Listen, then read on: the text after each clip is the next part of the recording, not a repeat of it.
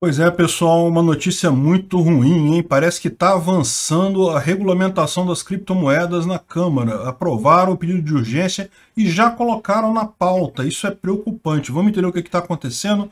Essa notícia foi sugerida por Carlos, Macaco da Varíola e mais um monte de gente. Obrigado ao pessoal que sugeriu a notícia. Obrigado a você que está assistindo o nosso vídeo. Se você gosta do nosso conteúdo, por favor, deixe o seu like, se inscreva aqui no canal, né?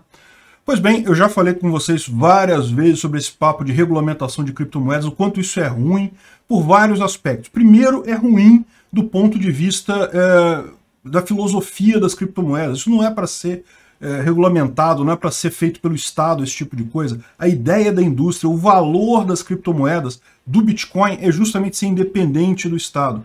Mas, além disso, este projeto particularmente é uma porcaria enorme, cheio de erros, cheio de furos, cheio de definições que não fazem sentido nenhum.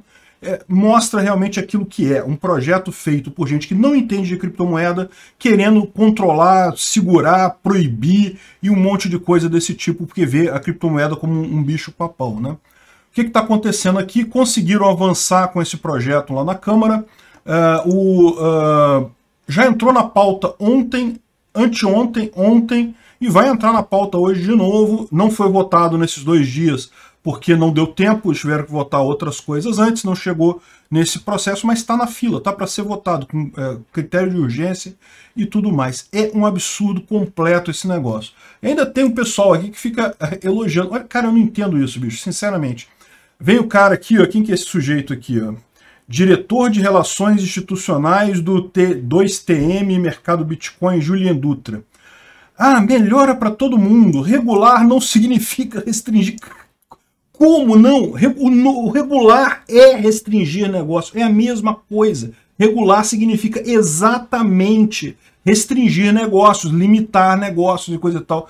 Não, se você regular estrategicamente, colocar princípios norteadores na atividade, não, não é isso que está lá. O que está lá é um monte de proibição, um monte de imposto, um monte de controle, um monte de coisa para o governo poder controlar, querer mais informação, querer se intrometer no mercado, querer regular esse tipo de coisa. Cara, não tem nada de estrategicamente princípios roteadores e coisa e tal.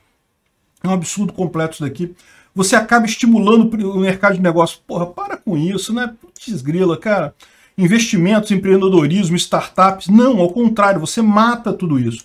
Porque você regula o negócio. Toda vez que, que, o governo coloca uma regra nova, essa regra nova impõe um custo. E aí, no final das contas, é bom para o pessoal que já tem empresa na área, que já tem empresa grande, coisa e tal. Para eles é bom esse, esse tipo de coisa, porque ele já tem uma estrutura grande fode mesmo é justamente para o pessoal que, que, quer empreender, que quer criar novos negócios, quer fazer startups. Esse pessoal floresce em ambientes desregulados. Por quê? Porque regulação é custo, sempre impede coisas. Sempre toda regulação significa exatamente restringir negócios. É um absurdo esse tipo de coisa. Ainda tem, não, não é, é, importante também a prevenção da lavagem de dinheiro, o volume de recursos é muito alto, a gente não quer conhecer, a gente não quer ser conhecido como alguém do setor que lava dinheiro. Então para de usar dólar e para de usar real, porque dólar e real são as moedas mais usadas para lavagem de dinheiro no mundo inteiro. O Bitcoin, ó, tá longe disso, tá muito longe. Sabe por que, que o pessoal ladrão não gosta do Bitcoin? Porque consegue rastrear as ligações, você consegue identificar um Bitcoin que foi roubado, que foi usado no crime, é fácil de você rastrear por onde que ele está passando. Aí o cara fica aqui, ao contrário do real e do dólar, em nota, né? Nota de real e dólar é usada à vontade por aí por criminosos. E, então, ou seja, a primeira coisa que você tem que fazer é justamente parar de usar real. Que porcaria de regulamentar Bitcoin? Que diferença faz isso, né? Aí tá entidades como a Bcrypto, a gente já falou isso, a Bcrypto, eu fiz até um vídeo aqui um tempo atrás, explicando, eles botaram um, um, vários motivos pelos quais a criptomoeda devia ser regulamentada e coisa e tal, e eu mostrei que cada um daqueles motivos estava errado, é uma bosta isso, não tem lógica nenhuma. A criptomoeda ela tem valor justamente por ser desregulamentada. Primeiro, o governo não, não, não, não ter nenhum papel na origem dela, no controle dela, mas também porque mesmo que ele queira regulamentar, ele em tese não consegue fazer isso. A criptomoeda continua existindo de forma independente do governo. O governo vai fazer o quê? O máximo que o governo consegue fazer é punir as pessoas, ou então é, limitar as corretoras e outras empresas que trabalham com criptomoedas. Então, esse é o grande problema. A regulamentação que ela vai trazer é justamente um, um, um freio nesse mercado aqui no Brasil. E repara como é que isso é, é perigoso. Até os Estados Unidos, eles estão ainda discutindo essa, esse assunto, estão discutindo essa questão de regulamentação e não, não, regulamentaram ainda. Não fizeram ainda por quê? Porque a grande preocupação deles é justamente essa. Regulamentar cedo demais vai fazer com que seja uma lei bosta, uma lei que vai atrapalhar o desenvolvimento desse mercado, uma lei que vai gerar problemas no futuro e no final das contas não vai ajudar a ninguém, né? E quem que está por trás dessa coisa toda? Quem está por trás dessa coisa toda é lógico, esse pessoal, esses é, idiotas aqui da, desse, da Bcrypto e coisa e tal, mas também, principalmente, o Banco Central Brasileiro. O Banco Central Brasileiro quer porque quer é, é impedir as criptomoedas, por quê? Porque ele quer lançar o CBDC dele porcaria ano que vem, então ele sabe que, quer, que precisa restringir as criptomoedas nisso daqui. Quer é, botar um, um, uma bota de cimento nas criptomoedas com essa, com essa regulamentação para facilitar o lado dele. Não tem nada de positivo nesse projeto. A gente já falou sobre esse projeto, né? É, é esse cara aqui, é o que está valendo, é o substitutivo ao projeto 2000, 2303 de 2015. Parece que ele recebeu um novo nome. Segundo, está aqui o novo nome dele, é 4401. Mas enfim, não interessa. É esse mesmo projeto aqui, esse mesmo, esse mesmo item aqui. E tem vários problemas que a gente já falou sobre isso daqui. A questão de é, dizer que é, o que for cargo da Comissão de Valores Imobiliários é com eles. E aí vai causar o mesmo problema. Por quê? Porque tem várias criptomoedas que são exatamente valores imobiliários. E aí vai, vai obedecer qual lei? Isso deixa uma, uma margem enorme para uh, uh, esse tipo de definição, para questionamento nesse tipo de coisa, para a CVM querer puxar criptomoedas para o lado dela. Né? É uma coisa bem. É uma linha que não existe no mercado de criptomoedas. Justamente por quê? Porque não precisa. No mercado de criptomoedas é diferente, não é esse mercado financeiro que o governo diz proteger as pessoas, mas a gente sabe que não é isso, né? O governo sempre promete proteção, mas para te roubar imposto. No final das contas, é sempre isso que ele fez a vida toda. Todo esse negócio de CVM, de segurança na bolsa, ah, não queremos evitar que as pessoas percam dinheiro na bolsa. Não, não, evita alguma coisa? Evita nada. Se você apostar na ação errada, você vai perder dinheiro do mesmo jeito. Não tem nada disso. Para que, que serve toda essa estrutura da CVM, essa coisa toda? Para o governo roubar as empresas, roubar você, roubar um monte de gente. No final das contas, não muda em nada a situação real de risco que tem nisso daí. É a mesma coisa com criptomoedas. Ah, vamos evitar os riscos das criptomoedas e coisa e tal. Não, vão é roubar os clientes, porque no final das contas é, é, o risco continua lá. Você acha que o governo vai bancar, se falir uma corretora, o governo vai botar dinheiro ali para para segurar o valor, né? Vai bancar o prejuízo do pessoal da Luna, você acha? Pois é. Enfim, aí tá falando aqui, então briga CVM com isso daqui. É outra coisa, moedas nacionais e moedas estrangeiras. Olha só, o Bitcoin é moeda de El Salvador, cara. Eu posso, não vou usar essa lei aqui não, porque Bitcoin é moeda de El Salvador, é uma moeda estrangeira. Qual que é, o que, que diferencia no final das contas isso daqui? Né? Não tem diferença nenhuma. É exatamente a mesma coisa. Aí fala de é, Esse é engraçado, pessoal, não que vamos fazer os, as diretrizes é, de livre concorrência, livre iniciativa, fala um monte de coisa bonita aqui. Sabe o que isso aqui tem de valor legal? Bolota, não vale nada, zero. O pessoal ignora, isso aqui não é lei, isso aqui não, não é norma, não está dizendo o que vai fazer, o que não vai fazer. O que importa no negócio é a norma, é o que diz, olha só, se você fizer isso, a punição é isso. Pronto. Não pode fazer isso. Esse tipo de coisa importa. Isso aqui importa. Ai, que a livre iniciativa, boas práticas de segurança. Isso aqui é desperdício de pixel, é desperdício de papel. Se você imprimir esse troço, não serve para porra nenhuma isso daqui. E uh, o pior é, como eu falei, vai colocar toda a administração nas mãos do Banco Central.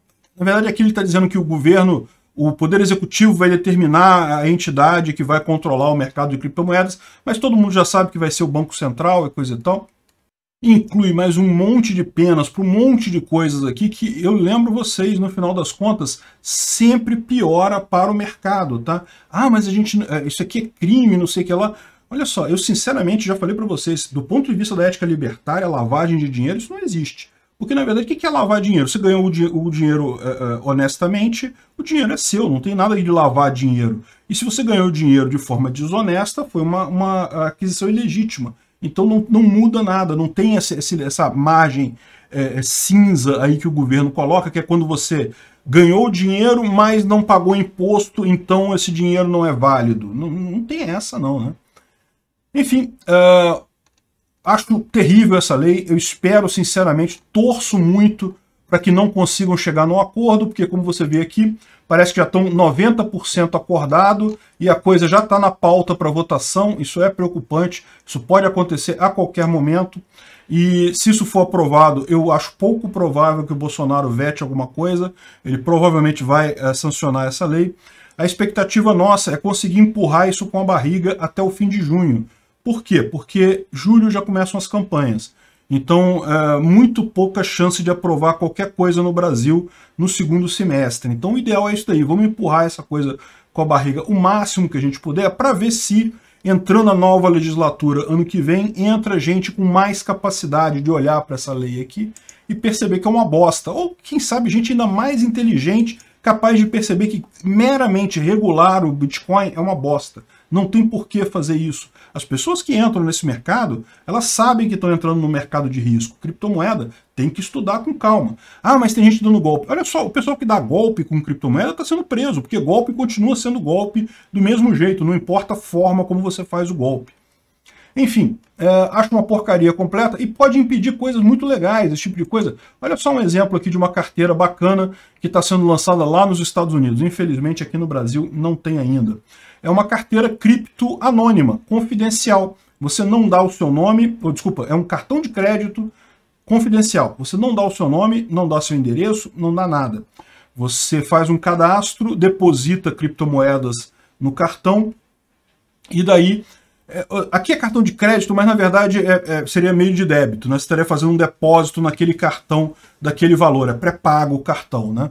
Com um limite de mil dólares por mês, mas como eu disse, é pré-pago, então você já tem que ter esse dinheiro lá para poder gastar ele, e uh, não tem nenhum procedimento de conhecimento de usuário, nem informações pessoais para uso, segundo o Decrypt. Né? Olha que ideia bacana, isso é uma coisa excelente, esse tipo de coisa, para substituir o dinheiro real, porque é, o dinheiro real é muito mais parecido com isso do que com CBDC. Para para pensar. Se você tem mil reais na sua carteira, são mil reais. Não tem o seu nome escrito em cada nota, não tem nada escrito naquela nota. Você gasta aquilo com o que você quiser. Da mesma forma, esse cartão faz isso. Isso daqui é muito mais perto de dinheiro do que o CBDC que o pessoal do Banco Central quer, né? Enfim, um absurdo esse negócio de regulamentação, só piora a situação. Esse papo do cara regular não significa restringir negócio. Puta que pariu, cara. Regular significa exatamente restringir negócios.